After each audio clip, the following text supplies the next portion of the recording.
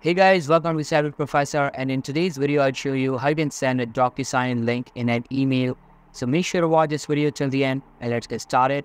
First of all, open up any preferred browser over on your PC, search for DocuSign and open up its official website. Make sure you are logged in and after that you will be redirected to the homepage of the website.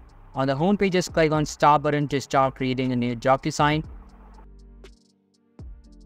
Upload the required file after that, enter the details of all of the signs, if there are any, or you can just check mark the I'm the only signer box. And after typing all of the required details, enter a specific message at the end and proceed to the next step. On the next page, you will be asked to place the required fields. There are several fields that you can use present in the left side menu.